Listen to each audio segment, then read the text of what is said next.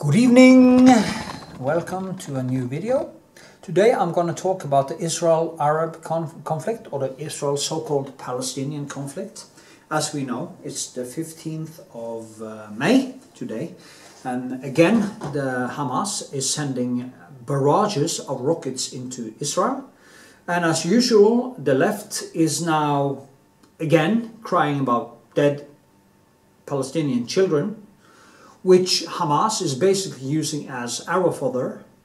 Uh, they are using them as, uh, them as uh, human shields. They are, just think about this. Think about Israel doing the same thing. Think about Israel using, placing their children in arm's way in areas where they are know there might be an attack to deter Hamas from dropping bombs. yeah, right, you know, that would help. Now, how come is it that Hamas is using their own population as human shields? It is because they love their own children? Is it because they care about the death of their own children? Is it because they are peace-loving, honest citizens of the world? Is it because their ideology is so peaceful?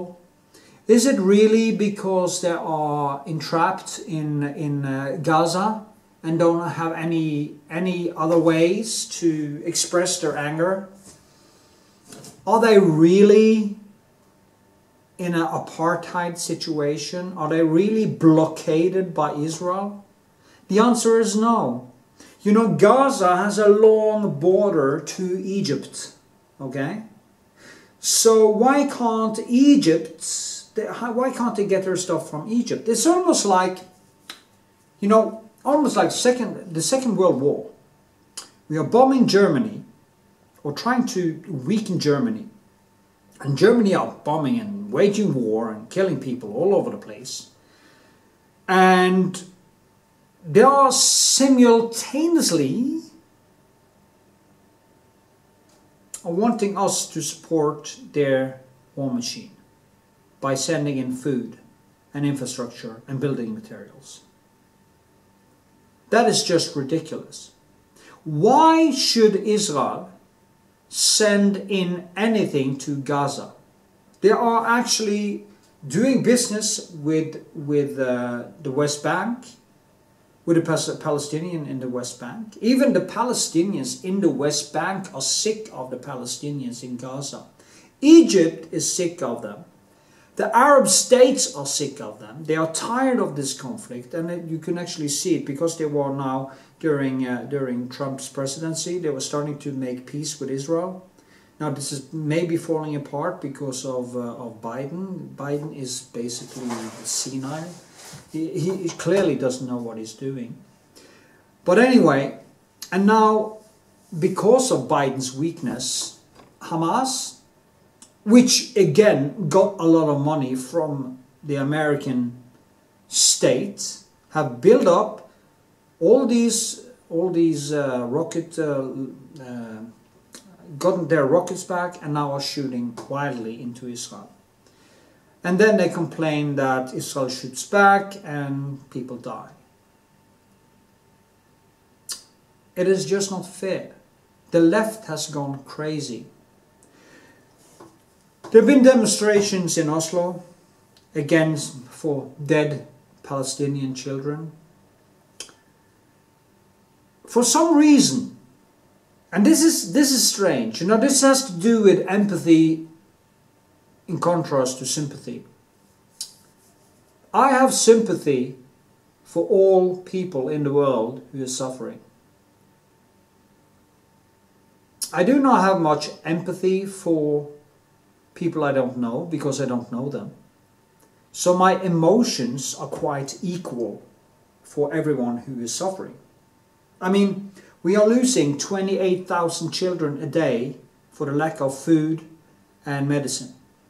So if it, if, it, if it is about children, I can point to other places in the world where children are suffering 50 times worse than in Gaza. And by the way, people in Gaza aren't starving to death. And if they do, it is not because of the Jews or Israel, it's because of Hamas. Because Hamas is a fascist organization, a religious, fascist, jihadist, Islamist organization who don't give a rat's ass about their own population. They are following the, the ideology of the Quran and the Hadith. And the Hadith and the Quran are saying plainly and simply that you can never, ever, ever give away land to the kuffar or to the unbeliever. You can't, and especially the Jews. I mean, if you're going to find, I have the Quran here somewhere. Yeah, but okay, you can put that aside. If you read the Quran, there is basically Jew hatred on every single page in that book. Every single, there are more Jew hatred in the Quran than in the whole whole of Mein Kampf. Okay? So if you if you wonder where Hamas is getting this from, it is actually the Quran and the Hadith. So to to believe that you can make peace with people who want to murder you, who aren't even allowed to make peace, according to Islamic scripture, the only thing a Muslim is allowed to do is to make uh, not a peace agreement, but um, ceasefire for up to seven years. Seven years, I think it's within the frame of seven years. After that, he has to pick up the arms again because he, he is ordered to, to um, conquer the world for Islam. And for Hamas, this has nothing to do with the region. You know, there was actually an ethnic cleansing in Gaza, and it was done by the Jews themselves. They moved every Jew out of Gaza and gave the Palestinians or the Palestinians in, in Gaza all the infrastructure. They gave them buildings, they gave them building material, they gave them machines, they gave them technology, they gave them them uh, uh, ag agriculture, they gave them uh, uh um, uh, you know these houses, glass houses. You make things grow in. Um, yeah, you know what I mean. They gave them everything, and what did they do with it? Did they say, oh, wow, we can use this to, to strengthen our new state and give food to our population? No, they burned it all down because it was from the Jews. That is what they did with the resources they got from Israel. I was here, I was so happy many, many years ago when they were doing the Oslo Accords and the peace process because I felt really good about that. You know, peace is a good thing, okay? And then I saw how it deteriorated, how the Hamas and these alkalites, the, the, the hardcore Islamists, were blowing up bombs in the middle of Tel Aviv and in, in other places in, in uh, Israel. And they basically blew the peace agreement to pieces. Why did they do that? Was it because a little piece of land somewhere? Do you, do you know that how big, how a big part of the world, or the Arab world, Israel actually is? It is basically one tenth of a one percent or something of Arab land, or what used to be Arab land. It is basically nothing. And there's not even any oil there. It's a desert that the Jews actually managed to grow because they are really good with their, their culture is made for progress okay? That is probably also why they have survived being slaughtered for 2000 years and survived all this. Now there are many many reasons why i support israel one of the reasons is also Israel is the only democratic state in that region. It's the only place Arab Arab woman woman actually have rights. It's the only place. In all the other places, women are basically house uh, breeding machines, basically. and and children have the freedom and everything and uh, they have the same rights as as Israelis. They have the same uh, protection as the Israelis. And it is funny to see when the so-called Palestinian parts were erected now the Israeli Arabs didn't move to the Palestinian. There's nobody moving into Gaza okay, for some reason. But anyway, uh, I support Israel because I was wrong.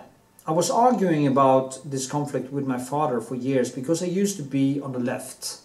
And I have called Israel a apartheid state. I have called, um, I've actually said this, I, I, I have called the Israelis Nazis. I used to believe in that nonsense. I used to be that stupid. And I was arguing with my father about these things. And after arguing a lot, I started to study facts. And I realized that I was wrong. So I picked up the phone, I called my father, and I said I was wrong. And I've been supporting Israel since that time as probably 15, 20 years ago. I even lost friends because of it, because I was so ingrained on the left. And when I started to support Israel and I started to become more pro-America and um, saw that America wasn't really the problem, saw that the Israelis wasn't really the problem. I lost a lot of friends on, on, the, on the left. And as an atheist and an anti nationalist because I'm not a nationalist. I'm not for any states. I don't want states in the world. What I would like to see is the Carl Sagan world. I would like to see the whole world as a big spaceship where we are doing common cause to create a secure future for the whole of humanity. That is what I want to see. But when it comes down to the Jews, is that one, I think the Jews and maybe the Kurds are the two people in the world that really, really need special protection. It's not because they need, want it so much. Some of them do probably, but it is because they aren't even allowed not to be it, especially the Jews. They aren't even allowed not to be Jewish. I mean, Stalin had a plan to kill every Jew in Russia or in, in the Soviet Union.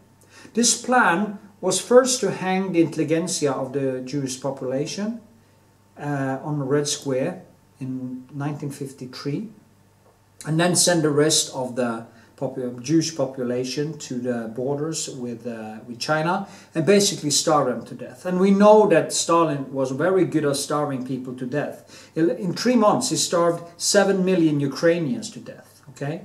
So he was actually good at that. Luckily, he died in 1950, so he wasn't able to, or about 1950, I'm not really sure. It was not, yeah, right before he was actually putting this into to uh, to action, he died. So Khrushchev stopped it, happily. Uh, but the Jews have been uh, prosecuted in uh, by the there was uh, they were slaughtered by the Romans. Okay, they did a rebellion against the Romans, and the Romans were known for slaughtering people who rebelled. So maybe that they have something to blame there. But anyway, and they were slaughtered by the Christians. They're prosecuted by the Christians because of um, you know they they took the blood of Christ down to all future uh, future uh, uh, generations. You know, anti-Semitism comes from Christianity. Then it was adopted by and and made even worse by uh, Islam. And of course, all the way up to basically the end of the Second World War, anti-Semitism was kosher. You know, it was, it was, it was the general view of the Jew that there was a problem. It was actually the, the Shoah or the, the, the Holocaust who gave the Jews, finally gave the Jews some rights in the world. And of course, it also gave them Israel, and the state of Israel, which they basically already had bought from Arabian uh, um, landowners and, and stuff like that. So, uh, and there lived a lot, hundreds of thousands of Jews there from before. So, and of course, Israel is also a historical fact. It is actually a country. It used to be a country. It used to be a identity. Anyway, 1948, Israel comes into existence. All the Arab countries attacks Israel. The idea, when they was asked, what, what are you going to do with the Jews? They just replied, well, there won't be a problem because there won't be any Jews. And the, even before, during the Second World War, Stalin, now Hitler and the Mufti, the so-called Palestinian Mufti, uh, or the Arab Mufti in that area, was living in Germany and making a plan with Hitler to kill all the Jews in that region if Hitler won the war. That was the plan. So, and of course, um, uh, before that, you know, there was the Ottoman Empire who ruled uh, that area. There wasn't any Palestinians or Palestinian state. Then the English took over. They call it Palestine because of the old uh, word that the Romans used on it when they conquered or destroyed Israel. They called it Philistine, Palestine, because of some tribes and were enemies of Israel and stuff. But it's a long story. You can check it out yourself. And uh, the English used that word for that region. So actually, it was the English that kind of created the idea of Palestine. But even even Palestine was was um, uh, uh, uh, in the crossfire of, of the of the Arabs because the region, the Palestinian Post, there was even a newspaper there. The, the Palestinian Palestine, as they call it then, was actually a Jewish kind of Jewish state even before that, that was actually called Palestine or Palestine or something like that. But anyway, 48, they get state, they are attacked by all the Arab states, and with the goal annihilating the Jews and Israel once and for all. They lost, and the Jews got some more land from winning that war, which is totally fair. I mean, if you are attacked and you win, if you attack people you and you lose, you should lose your house. That is my opinion. And uh, again, they attacked again in 1967, the same thing, going to annihilate Israel and throw them into the sea. And they lost again, and they lost even more land. And then they attacked again in 1973, and then Syria, of course, lost the Golan Heights, and um, and uh, Egypt lost the whole Sinai desert, which they got back if they went into a peace agreement with Israel, which they did. And uh, because of this, this is the misinformation the left has. That is the misinformation I believe. I believed, I was thought by someone that was Israel that was the aggressor every time. And when I studied, I realized that Israel was never the aggressor. That was never the main. Uh, Israel didn't want war, they want peace. It's a small region, it is a small country, it is a small population. So they have never wanted war. But at this point, they have to. I mean, again, Hamas, you see that again and again. Was it 2005? Then was 2008. And then again a few years ago, and now again, Hamas is sending in this. And it's just time, for the way I see it, it's just time for Israel to go in, maybe bring with them Egypt and Jordan, and uh, West Bank Palestinians and just annihilate Hamas once and for all. Just make make them go away. Just just just redo the whole thing. Okay?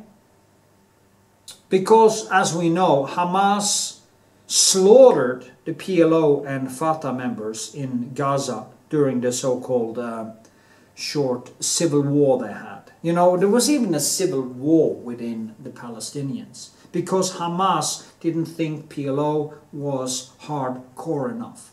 And that was also one of the reasons why why Yasser Arafat didn't didn't go with a peace agreement that they could have gotten in Camp David, where the Jews basically gave them everything.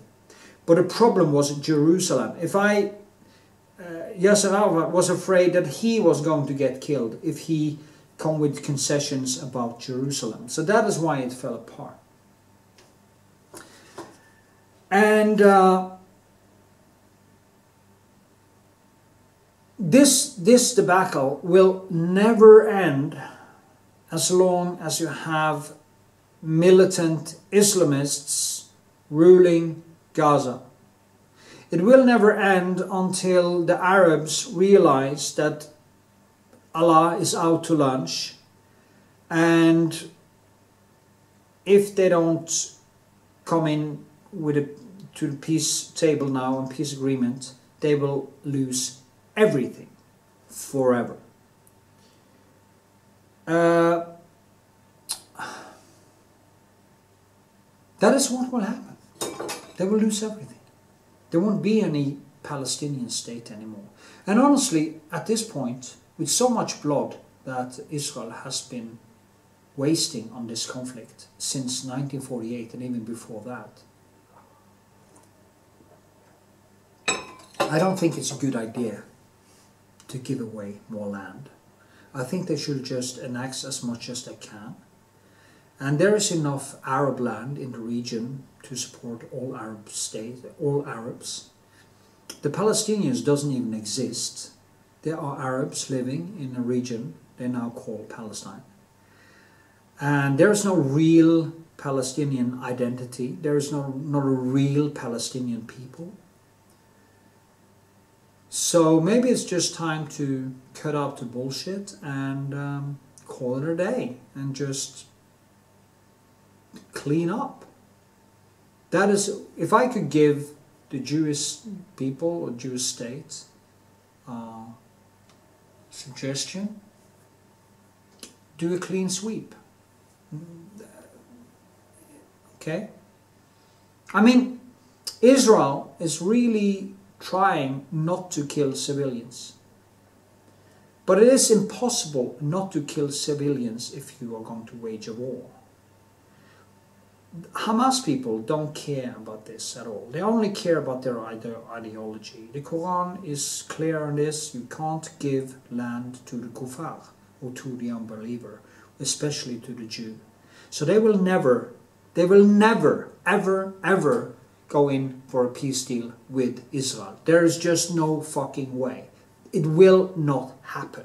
Okay? It will never happen. The problem I see now is you have this this on the left, the leftists and these people, oh, the children, oh, it's so sad, but dead Brazilian children. It is, it is I don't believe them. I don't believe you. You don't care about children. It's not about children.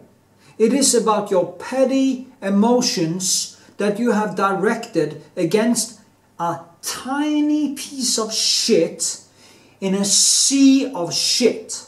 Okay? I mean, on a global scale, this conflict is nothing. It is nothing. It's not even worth our attention. It's such a little, piece of land with so few people, and it would be so easy to fix it that we shouldn't even we shouldn't even talk about it. But the left keeps pushing it. Norway is giving money to Hamas. Money, money. We have given so much money to these jihadists the last 20, 30 years that we have rebuilt Gaza and, and stuff several times just for them to start sending rockets being destroyed again uh, and the left is is constantly calling the Palestine or the Gaza Palestinians the victims which they are not okay they are not victims of Israel they are victims of their own ideology. They are victims of their own so-called identity. They are victims of Hamas, who will never do peace. They are victims of people who are willing to sacrifice their own children for Allah. That is the problem here. And until the governments in the West and the people on the left realize this, there will never be peace. What we have to do to make peace there is to tell the Gaza Palestinians that you won't get any more help. The only way for you to get your state now is to make peace. And to make peace, as I say, you have to remove Hamas.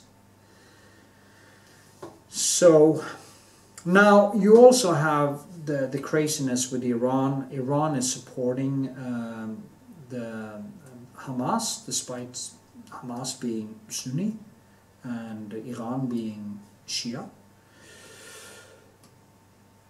And it's quite funny, really, because they have been fighting each other for 1400 years, but they have a common enemy, which is worse, of course, and that is uh, the Jews and America.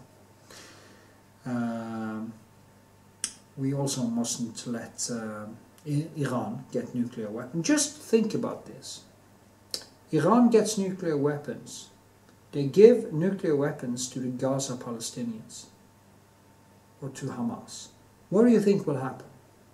Do you think uh, uh, Hamas will care if uh, Israel retaliates with a nuclear bomb? or with with full force if they blow a bomb and you know Israel is so, such a small country one one nuclear bomb will make a lot of havoc because it's such a small country anyway I support Israel Israel and Israel and the Jews also is basically they they stand for up to 70% of all progress within science. How much science have Islam given to the world? Basically nothing. They took care of some of the classic science up to 1100 and saved some from Christian burning and stuff like that. So we owe them that. But despite this, and the number numeral system comes from India, so it's not really it wasn't invented by, by Arabs either.